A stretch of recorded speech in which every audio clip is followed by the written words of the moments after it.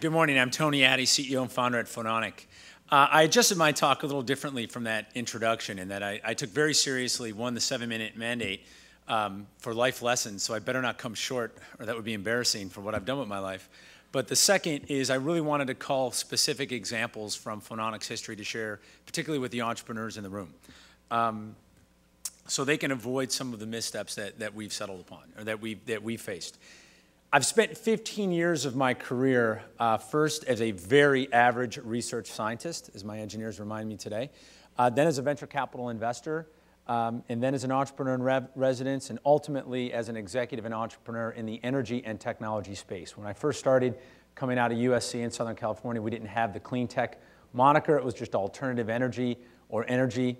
Uh, but I've spent my career investing in or leading or commercializing technology companies like Phononic where our story begins was in late 08 at a social meeting in Silicon Valley with what would become the two founding investors for our company. We discussed this profound yet simple investment thesis.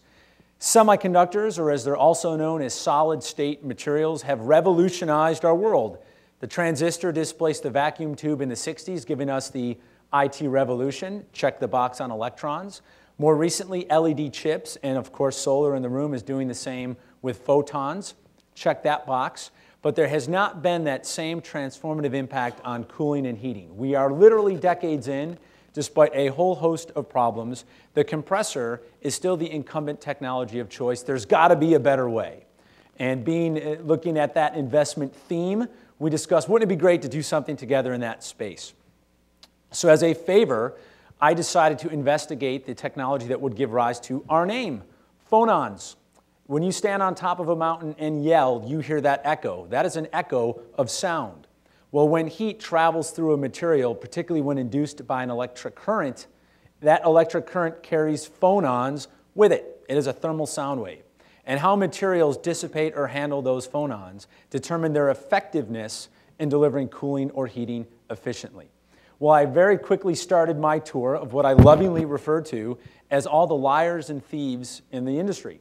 What I found is semiconductors actually had made inroads with heating and cooling, just very small. There was an industry called thermoelectric, around for 20 or 30 years, a $300 million a year or so industry, particularly used in electronics cooling where space constraints were important, but that had not demonstrated the efficiency namely the consumption of electricity and the generation of cooling, nor the scale to take on mass markets. So, having met with more than a dozen universities in the US, I came back to Silicon Valley about two months later in the fall of 08, presented my findings to what would become our anchor investors, and said, All right, I get it. If my fund were to do an investment like this, we'd put in a million dollars, 12 months, we'd address the two or three technical hurdles limiting the ability to compete with compressors, don't even talk to me about a business. Hey, this was fun. I'm heading back to North Carolina. They made me spend the night. The next morning, they dropped a term sheet in front of me and asked me to found the company. The next day, I had to present to the Venrock and Oak investment committees, which happened to be the same morning that Lehman crashed. The market sold off 1,200 points, and I walked into these investment committees saying, Do you want to do an investment with technology risk, science risk, market risk, geographic risk? Um, what's not to love? Uh, but, but, but thankfully, uh, in a sign of support, they backed us. Now, what every disruptive company or disruptive technology needs is credibility. So, how do you get that? Well, what excited us is as we were moving through our technical hurdles associated with efficiency and scale, you find that the market opportunity is massive and diverse. Well, we all recognize big markets in this industry. But what was neat is if you look at the pictures on this screen, which represent not just different markets, but different industries, different price points, different, different go to market strategies, the temperature of heat that each needs to struggle with all falls within a pretty tight band of around room temperature to a couple hundred degrees C.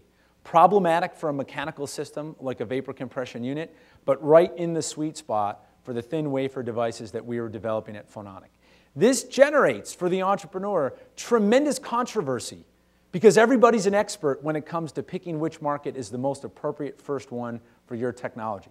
I've had some venture capital investors who I really respect give me advice that was crazy because some of the markets we went after didn't look sexy enough or neat enough for what, that they, for what they envision.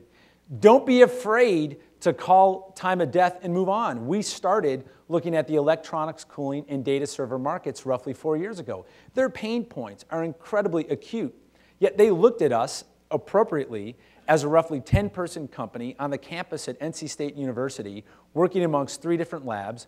No Telcordia data, no JEDEC data, no reliability, no operating protocols, no um, ISO certification, and we're going to boldly take down a significant percentage of their business. We didn't have that credibility that we needed to establish. What we did find is the refrigeration and appliance industry drew us at record pace into their segment. Well, what was the secret? We made a compelling case as to how we could take down that incumbent technology. But also, we wound up landing the one thing that every entrepreneur needs when entering a disruptive space a customer who's just a little crazy. So, I don't know the analogy in the utility space or some of the water or other industries that I've seen today, but it's incumbent upon you to present your value creation opportunity to that industry, but find that one customer who's just a little different than all the rest and wants to be innovative, and then zero in on that. And once we established that market credibility, we were able to come back to some of the other segments that you see on this slide, and that's what triggered some of the growth financing that we've done over the last 18 months. So having technical credibility based upon feedback from the market that in some cases was baked into technology-based milestones.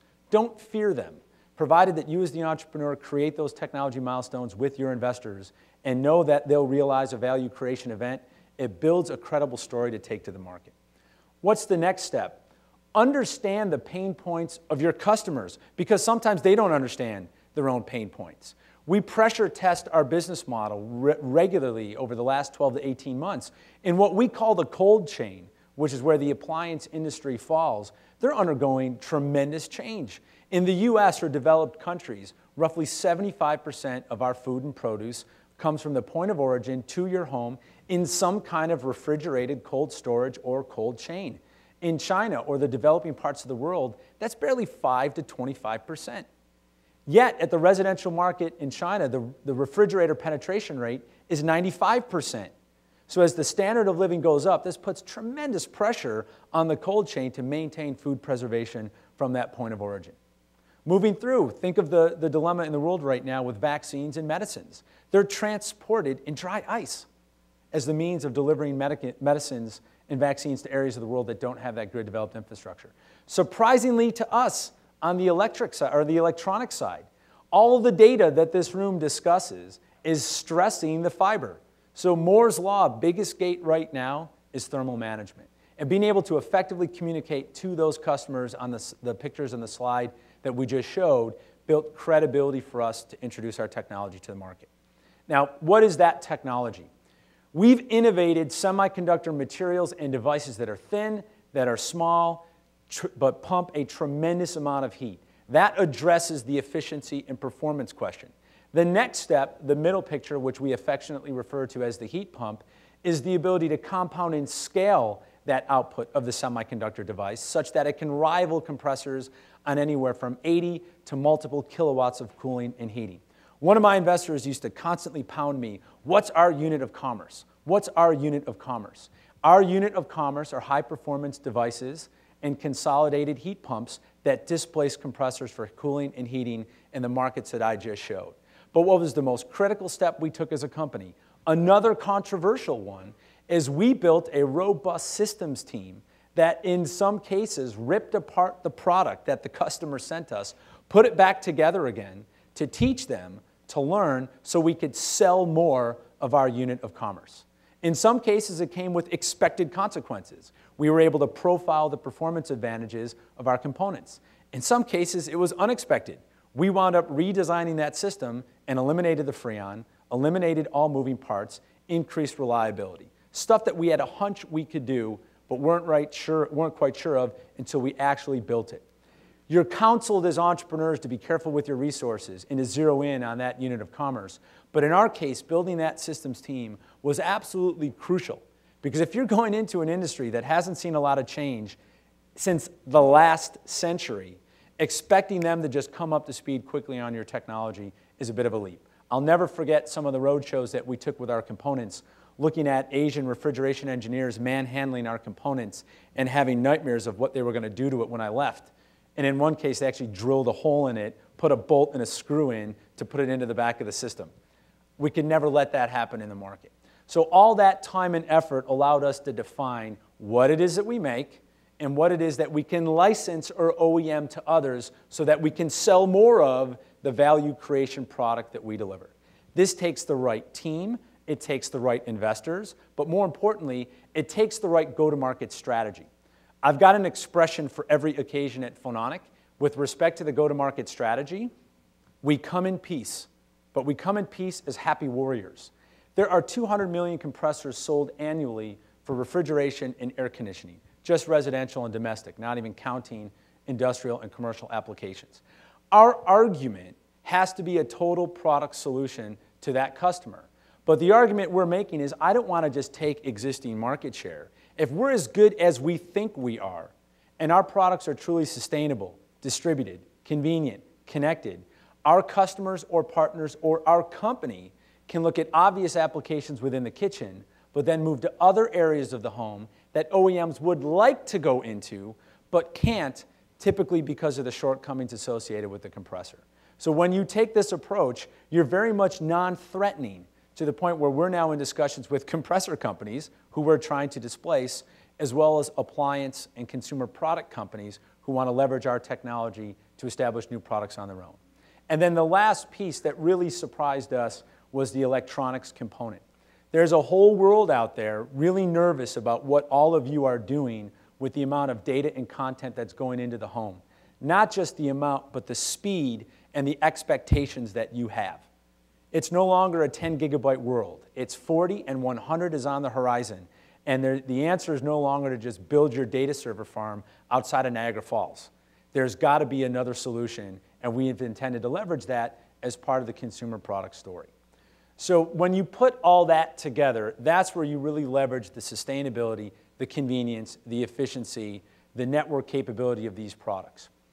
Now, if you're going to do all that, the last thing you want to do is position your products in low-end black plastic boxes that immediately compete on price. If we're going to deliver, if you as entrepreneurs are going to deliver this level of extra credit to your partners and your customers, the least you should do is try and do things differently. And in the case of cold storage or cold products, what we've done is innovated to the point where we can demonstrate different industrial or product designs that validate the go-to-market strategy that we just discussed. So the products that you see on this slide are real products in commercial development as we speak, some with appliance partners, some that we're introducing on our own. All of this benefited from the hard work we had to do over the last year teaching what would become our anchor customer in China. So when we surfaced this summer and saw the progress that we had made, we had supply chain, vendors, qualification, REL data that one of my executives came to me and said, why the heck are we not selling into the medical, clinical, and laboratory market? Go make it happen. In less than two months, we went from an industrial design, brought the supply chain up, the product up, and landed a customer with one of the largest hospitals in the Mid-Atlantic for the product that you see in the lower middle section of that box. We have to be able to disrupt a market in a friendly, happy warrior way by sharing our value proposition, but leaving no mistake to that customer that if they're not willing to move, we will move without them. And once you deliver that message, I think you'd be surprised at how quickly the purchase orders and the commitments come in.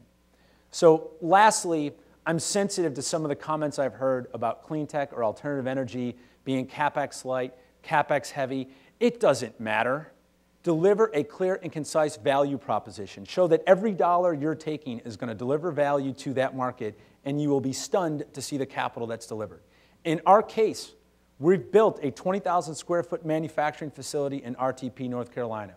We can support a million units a year of our semiconductor devices and scalable heat pumps on barely a couple million dollars in capex.